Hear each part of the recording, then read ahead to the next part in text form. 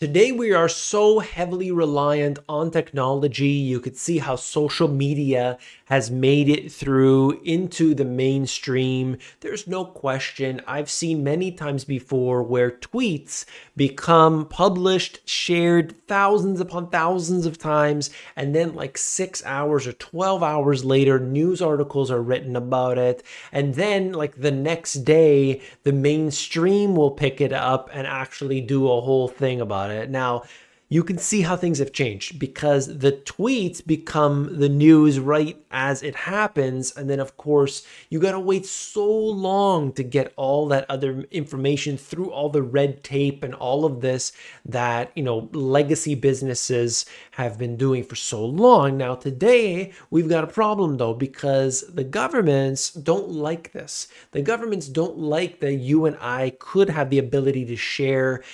instantaneously globally. They want control. That's why they have never been a fan of any form of decentralized payment system. They don't like any of it and they want to have control. That's what central bank digital currencies are all about. They are the ultimate tool of control. Now, in today's video, we're going to talk about some changes that are happening right before our very eyes. I want you to know that what we're seeing right here is going to look quite dystopian. It's going to be something that you're uncomfortable with, but I need to bring it to you. So sit down, relax, and let's get into it. Here we have it why social media is being blamed for fueling riots in France.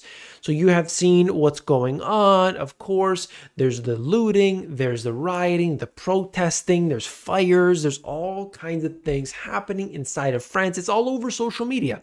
And so, what they're suggesting here is that it's actually fanning the flames, making things worse because people see it. Hey, they're going in there, they're looting. Oh, that's on fire. Okay, the police are attacking there. And, and they, it just rallies people up. So, the government says, well, if we just cut off the alternative news or the social media during these times, well, we can kind of stop these things from happening. And that kind of reminds me of you know other instances where we've seen this before. You get that in a lot of developing countries where riots, I don't want to say they're common, but they do happen. Protests, major, major protests with tens of thousands, hundreds of thousands of people that just show up on the street and they protest about one issue or another. And what do they do? They cut off the internet.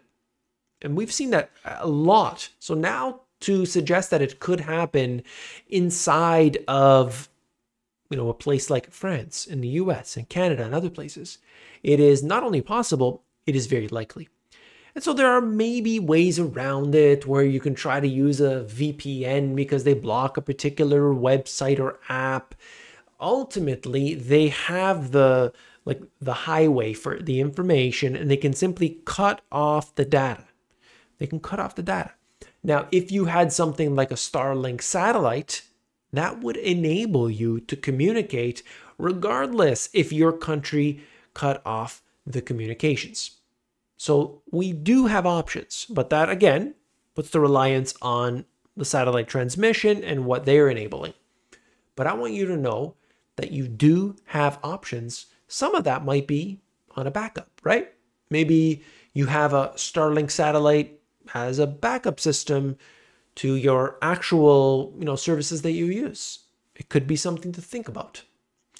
And so we're maybe not in that position yet. You might not have to be concerned yet, but we've already seen what social media companies will do, whether it was at the request of government or not.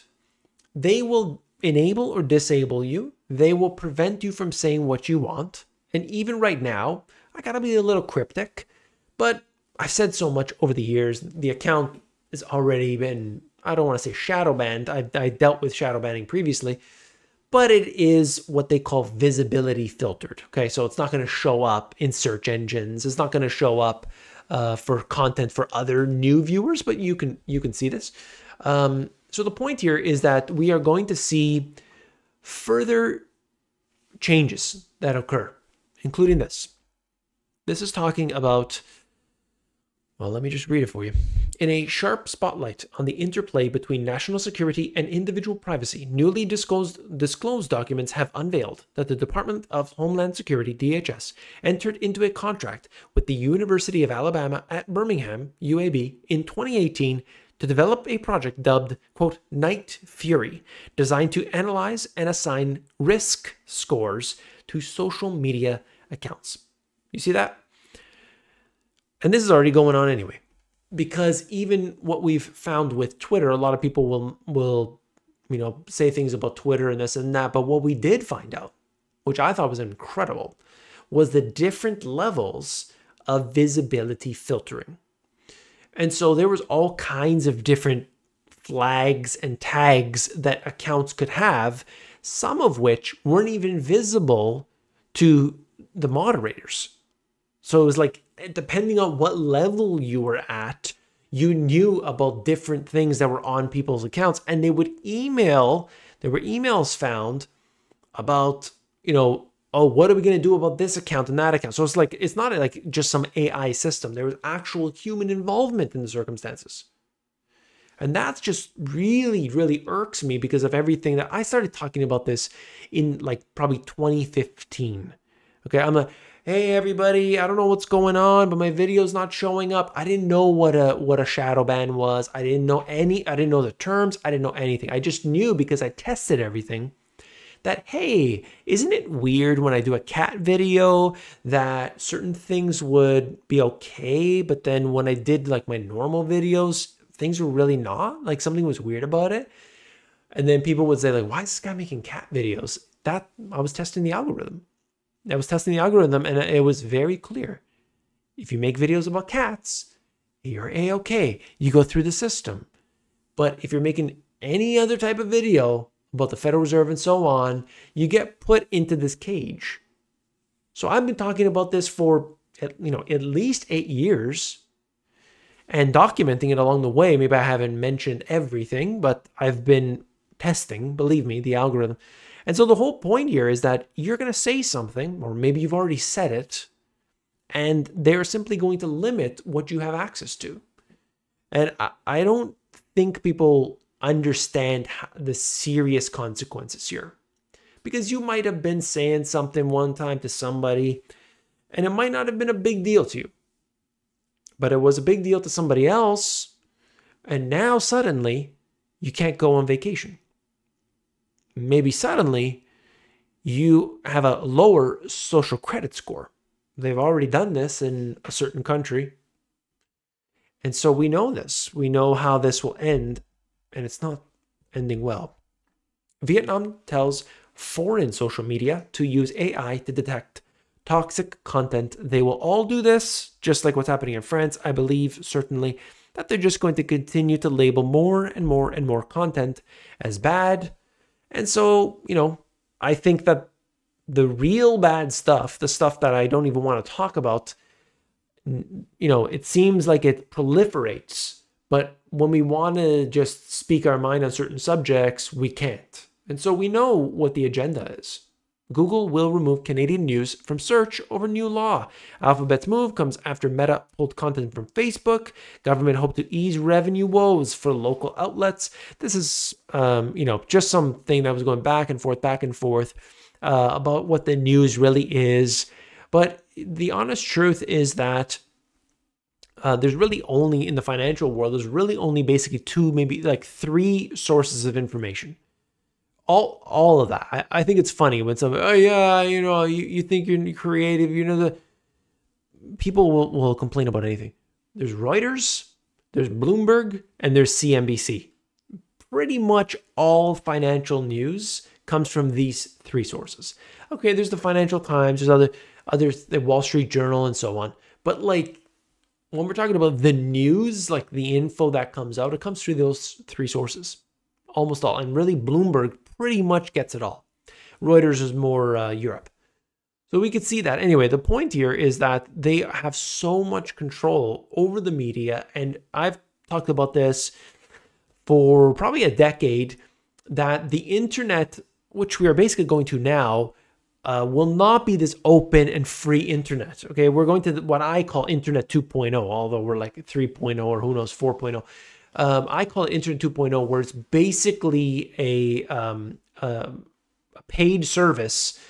You are gatekept at every level. You don't get to speak your mind. It's not open. You you know you, every website is going behind the paywall now this is the way. This is the Internet 2.0. You use everything through an app. You're not on an open website. Information is harder to come by, and so on. Anyway, I just, you know, I, I'm just trying to not speculate because this this is really happening. It's happening. Musk says Twitter will limit how many tweets users can read. Um, if you look at the numbers, I thought it was funny because people are really complaining, say it's it's about censorship. It's like, can you read eight thousand tweets in a day or whatever the number is? Like, it's not even realistic. Like, um, so there are these bots that go out there and they want to stop that, and I don't see an issue with this. If they limit what people can say, that's a different story. But you know, they'll use anything they want because it connects in with this. Why Meta is launching Twitter rival called Threads. So uh, all of the people that um, were very upset that Elon Musk took took over Twitter are looking for an alternative. There's really nothing good out there for them. Um, so they said, all right, well, what about Zuck? Zuck creates basically Instagram without the pictures, it looks like. And uh, they just are going to launch that. I'm sure it's going to do very well because they can get a good bunch of the people from Twitter who don't like Twitter and they can just move over and you could take all your Instagram users. If they got a million users on Instagram, suddenly you got a million users on this new thing, Threads. There's a lot happening here, and you could just see on these different levels. I just think that social media in general is uh, really more advanced in a way, but the governments can force them to squeeze them and do whatever they please. That's just the, a simple matter of fact. Okay, uh, this one here, I got to do a whole video about this. JP Morgan has been fined $4 million by America's securities watchdog, the SEC, for deleting millions of emails records dating back to 2018 related to its Chase Bank subsidiary. Uh, you know, they accidentally deleted 47 million electronic communications. You know, the point here, mean, the reason I'm mentioning this here is that the government will not allow you to talk about something that, in my opinion, should be allowed to. Talk, you know, you should be able to share what you want, even if it's terrible. And yet, when some dirty business is going on, they'll allow JP Morgan to delete 47 million emails. Do you see what I'm saying? Anyway, I think it's important right now more than ever before that we realize what's happening. We see the writing on the wall. We better get our stuff in order. And that means one of those things is that we make extra income on the side. I talked about the Starlink satellite. There's probably alternatives. We got to look at our own power source, grow a garden in your backyard, do whatever it takes. This video right here is talking about how you can earn some extra income on the side. Click it, and I'll see you there.